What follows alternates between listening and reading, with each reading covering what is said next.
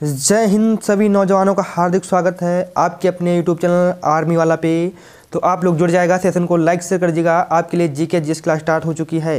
दोस्तों, आज आपके लिए टारगेट दे रहे हैं पैंतालीस क्वेश्चन आपके हैं, उनमें से आपको टारगेट देने की आप लोग चालीस प्लस क्वेश्चन सही करके दिखाए और अपना स्कोर कमेंट बॉक्स में ज़रूर बताइए दोस्तों। लाइक करिएगा सेशन को लाइक शेयर भी करिएगा और चैनल को सब्सक्राइब भी कर लीजिएगा। क्वेश्चन नंबर वन है आपके स्क्रीन पे, आप लोग इसका आंसर करेंगे।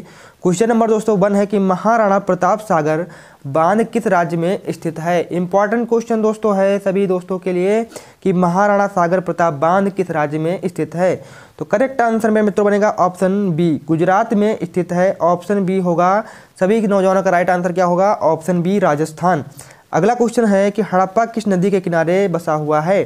हड़प्पा किस नदी के किनारे बसा हुआ है? रावी, घग्गर, सिंधु या फिर भोगवा? या फिर भोगवा। तो करेक्ट आंसर सभी नौजवान साथियों को क्या होगा कि हड़प्पा, जो कि किस नदी के किनारे स्थित है तो रावी नदी के किनारे स्थित है। सभी नौजवान याद रखेंगे ऑप्शन क्या होगा आपका? ऑप्शन ए करेक्ट आंसर यहाँ पे बनेगा। अगले क्वेश्चन तरफ़ बढ़ते हैं। अगला क्वेश्चन है आपका कि भारत के आज़ादी के समय कांग्रेस का अध्यक्ष कौन था? भारत के आज़ादी के समय कांग्रेस का अध्यक्ष कौन था? Abdul Kalam J B Kripalani, doctor B R Ambedkar या मोतीलाल नेहरू या फिर मोतीलाल नेहरू? तो करेक्ट आंसर बनेगा आपका कि भारत के आज़ादी के समय कांग्रेस का अध्यक्ष कौन था? तो J B Kripalani. J B Kripalani यानी कि ऑप्शन क्या होगा? बी करेक्ट आंसर बनेगा। अगला क्वेश्चन है कि निम्नलिखित में से खिचली वंश का संस्थापक कौन था? खिलजी वंश का संस्थापक आपको बताना है। प्यारा सा क्वेश्चन है इंपॉर्टेंट क्वेश्चन दोस्तों आपके लिए हैं। चाहे आप नर्सिंग असिस्टेंट की तैयारी कर रहे हो या फिर आपका जीडी की तैयारी कर रहे हो तो सभी के लिए बहुत ही महत्वपूर्ण दोस्तों क्लास होने वाली है तो आप सभी लोग जुड़ जाएगा। तो करेक्ट आंसर क्या बनेगा कि खिलजी वंश का संस्थापक कौन था? तो आप लोग करेक्ट आंसर करेंगे, जलालुद्दीन। क्या होगा? ऑप्शन सी यहाँ पे करेक्ट आंसर बनेगा। ऑप्शन सी क्या आंसर होगा कि खिजली वंश का संस्थापक कौन था? तो खिलजी वंश का संस्थापक जलालुद्दीन था यानी कि ऑप्शन सी करेक्ट आंसर बनेगा। अगला क्वेश्चन है कि दीन ए इलाही को स्वीकार करने वाला पहला हिंदू राजा कौन था? पहला हिंदू राजा कौन था? आपको बताना है कि दीन ए इलाही को स्वीकार करने वाला पहला हिंदू राजा कौन था? तानसेन बीरबल, राजा कृष्णदेव राय या इनमें से कोई नहीं। या इनमें से कोई नहीं तो सभी नौजवान भाइयों का राइट आंसर क्या होगा कि हिंदू राजा पहला कौन था? तो बीरबल था। ऑप्शन बी आपको याद रखना है। अगला क्वेश्चन है मेरे मित्रों क्वेश्चन नंबर आपका छः क्वेश्चन नंबर छः है कि अठारह सौ सत्तावन के विद्रोह को भारत का प्रथम स्वतंत्रता संग्राम किसने कहा था? भारत का प्रथम स्वतंत्रता संग्राम किसने कहा था? लॉर्ड कैनिंग ने, वीर सावरकर, बहादुर शाह ज़फ़र या इनमें से कोई नहीं, या इनमें से कोई नहीं तो करेक्ट आंसर बनेगा मेरे मित्रों ऑप्शन बी क्या होगा आपका कि अठारह सत्तावन के विद्रोह को भारत का प्रथम स्वतंत्रता संग्राम किसने कहा था? तो वीर सावरकर ने कहा था। अगला क्वेश्चन है कि अलाउद्दीन खिलजी के सेनापति का नाम क्या था? अलाउद्दीन खिलजी के सेनापति का नाम क्या था? मलिक काफूर, औरंगज़ेब, अली गुरसैप्पा या इनमें से कोई नहीं। या इनमें से कोई नहीं, मेरे मित्रों, आपको इसका आंसर करना है। तो राइट आंसर क्या बनेगा? ऑप्शन ए क्या होगा? मलिक काफुर। मलिक काफुर को दोस्तों, क्या कहा जाता है? हज़ार दिनारी भी कहा जाता है। हज़ार दिनार, हज़ार दिनारी भी जो कि कहा जाता है, इसको हज़ार, एक हज़ार दिनार में दोस्तों, क्या किया था? अलाउद्दीन खिलजी ने खरीदा था। तो बढ़ते हैं अगले क्वेश्चन तरफ़। अगला क्वेश्चन है आपका कि केरल में कौन सी भाषा बोली जाती है? इंपॉर्टेंट क्वेश्चन है आपका। आप लोग याद रखेंगे कि केरल में कौन सी भाषा बोली जाती है? कौन सी भाषा बोली जाती है? आपको इसका आंसर करना है मणिपुरी, के तमिल, तेलुगु या फिर मलयालम। तो सभी फौजी भाइयों का राइट आंसर होगा ऑप्शन डी ऑप्शन डी क्या होगा? मलयालम जो कि केरल में बोली जाती है। अगला क्वेश्चन है कि भारत का प्रथम वायस राय कौन था? भारत का प्रथम वायस राय कौन था? आप लोग इसका आंसर करेंगे। C Rajagopalachari Lord Mountbatten, Lord Canning या फिर इनमें से कोई नहीं, या इनमें से कोई नहीं। तो करेक्ट आंसर क्या होगा कि भारत का प्रथम वायसराय कौन था? तो लॉर्ड कैनिंग था। यानी कि ऑप्शन क्या होगा? सी सभी राइट आंसर करेंगे। ऑप्शन सी क्या होगा? सभी फौजी भाइयों का राइट आंसर बनेगा। अगला क्वेश्चन है दोस्तों कि महात्म, महाभारत महाभारत का युद्ध कितने दिन तक चला था? महाभारत का युद्ध कितने दिन तक चला था? चौंतीस दिन पंद्रह दिन, अठारह दिन या फिर बीस दिन, या फिर बीस दिन तो सभी राइट आंसर होगा अठारह दिन। अठारह दिन क्या होगा आपका? करेक्ट आंसर बनेगा option C option C Mahabharata का जो कि युद्ध अठारह दिन तक चला था। अगला क्वेश्चन है मेरे मित्रों, कि नागर होल राष्ट्रीय उद्यान किस राज्य में स्थित है? Very very important question very very important question आप लोग यहाँ पे ट्रिपल स्टार लगा लीजिए। ये आपका बहुत ही आर्मी का फेवरेट क्वेश्चन है तो दोस्तों, क्या होगा? नागरहोल राष्ट्रीय उद्यान किस राज्य में स्थित है? तो उत्तर प्रदेश, गुजरात, कर्नाटक या फिर झारखंड? या फिर झारखंड? तो करेक्ट आंसर बनेगा कर्नाटक। यानी क्या होगा? ऑप्शन सी करेक्ट आंसर बनेगा। नागरहोल राष्ट्रीय उद्यान जो कि कहाँ पे है? तो कर्नाटक राज्य में स्थित है। अगला क्वेश्चन है आपका कि हीना सिद्धू किस खेल से संबंधित है? हीरा सिद्धू, हीना सिंधु किस खेल से संबंधित है? कबड्डी, तीरंदाजी फुटबॉल या फिर शूटिंग, या फिर शूटिंग। तो करेक्ट आंसर क्या बनेगा कि हिना सिद्धू, जो कि शूटिंग से संबंधित है ऑप्शन क्या होगा? डी करेक्ट आंसर होगा, शूटिंग से संबंधित हैं। अगला क्वेश्चन है दोस्तों कि आज़ाद बचपन की ओर, आज़ाद बचपन की ओर पुस्तक के लेखक कौन हैं? आज़ाद बचपन की ओर पुस्तक लेखक कौन है? मौलाना कलाम आज़ाद, यानी कि मौलाना अब्दुल कलाम आज़ाद कैलाश सत्यार्थी डॉक्टर मनमोहन सिंह या फिर डॉक्टर बी आर अंबेडकर या फिर बी आर अंबेडकर तो करेक्ट आंसर क्या बनेगा कि आज़ाद भारत की ओर के पुस्तक के लेखक कौन है? तो कैलाश सत्यार्थी रखेंगे। आप लोग याद ऑप्शन बी यहाँ पे करेक्ट आंसर बनेगा।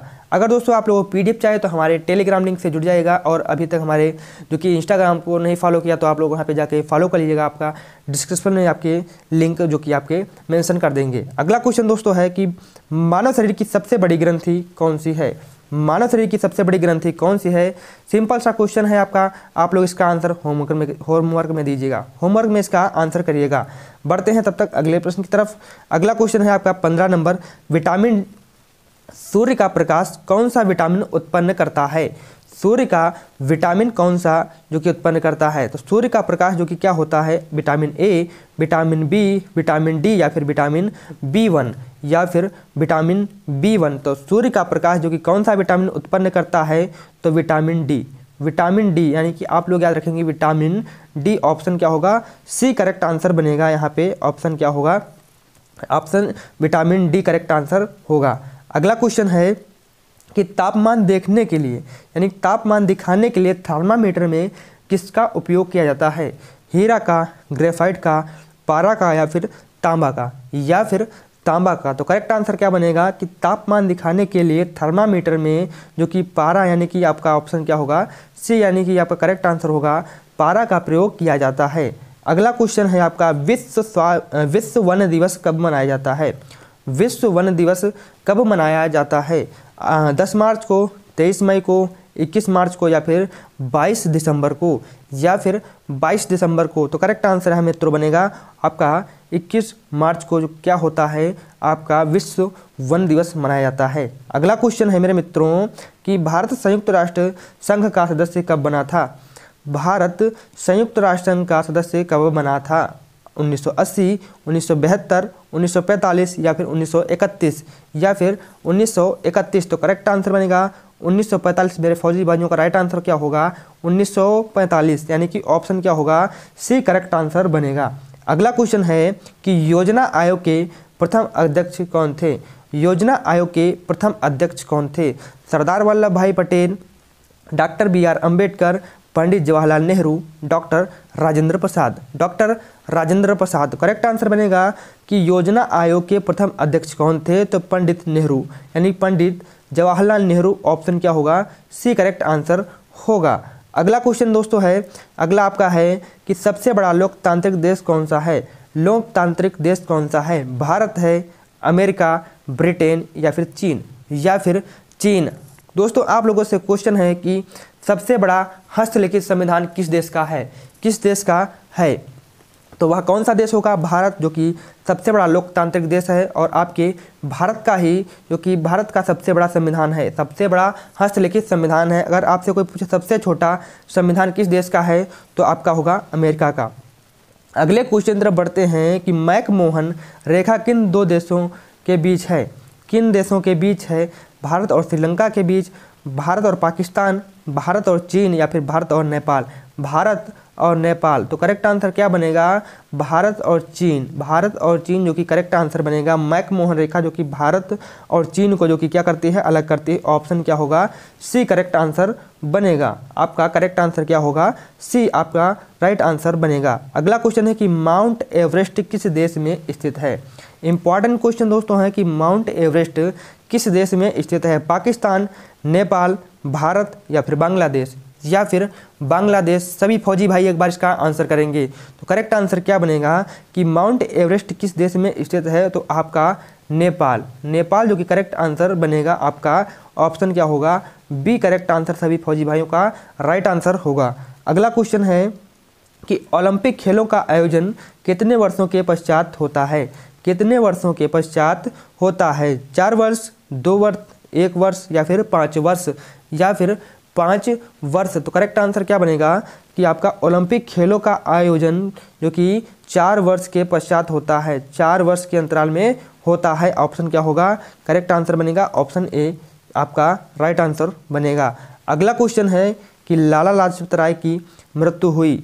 लाला लाजपत राय की मृत्यु कहाँ पे हुई? चोरी चोरा कांड असहयोग आंदोलन साइमन कमीशन या इनमें से कोई नहीं, या इनमें से कोई नहीं। तो करेक्ट आंसर क्या बनेगा? साइमन कमीशन, यानी कि ऑप्शन सी क्या होगा? करेक्ट आंसर बनेगा। अगले क्वेश्चन तरफ़ बढ़ते हैं आपका कि टाइगर वुड्स किस खेल से संबंधित है? टाइगर वुड्स किस खेल से संबंधित है? गोल्फ, बैडमिंटन, टेनिस या फिर कबड्डी, या फिर कबड्डी। तो सभी दोस्त याद रखेंगे आपका टाइगर वुड्स जो कि आपका किससे संबंधित है? गोल्फ से। गोल्फ आपका यहाँ पे करेक्ट आंसर बनेगा। सभी मित्र, आपका करेक्ट आंसर होगा ऑप्शन ए। अगला क्वेश्चन है कि भारत के किस राज्य में लोकसभा की सर्वाधिक सीटें हैं? लोकसभा की सर्वाधिक सीटें हैं मध्य प्रदेश, महाराष्ट्र, उत्तर प्रदेश या फिर आपका बिहार? या फिर आपका बिहार? तो करेक्ट आंसर क्या बनेगा कि सर्वाधिक लोकसभा सीटों वाला राज्य कौन सा है? तो आपका यूपी है, यानी कि उत्तर प्रदेश। उत्तर प्रदेश में जो कि लोकसभा की सीटें कितनी हैं? अस्सी हैं। और आपकी जो कि राज्यसभा की कितनी सीटें हैं? राज्यसभा की आपसे बात की है, राज्यसभा की तो इकतीस सीटें हैं, आप लोग याद रखेंगे। अगर आपसे क्वेश्चन आपका हो कि उत्तर प्रदेश में विधानसभा सीटें कितनी हैं तो विधानसभा सीटें जो कि कितनी हैं दोस्तों? तो आपकी हैं चार सौ तीन सीटें। चार सौ तीन सीटें किसी हैं? तो आपकी हैं विधान सभा की। अगर आपसे कोई पूछे, आपका प्रश्न हो कि विधान, उत्तर प्रदेश की विधान परिषद सीटें कितनी हैं तो विधान परिषद सीटें कितनी हैं तो आप लोग याद रखेंगे सौ। विधान परिषद की जो की सीटें हैं सौ, आपके लोकसभा की हैं आपकी अस्सी और आपके राज्यसभा की कितनी हैं तो आपकी इकतीस। अगर विधानसभा की कोई पूछे तो आपकी कितनी है? इकतीस। बढ़ते हैं अगले क्वेश्चन तरफ़। अगला क्वेश्चन है कि योगा दिवस कब मनाया जाता है? योगा दिवस कब मनाया जाता है? इक्कीस जुलाई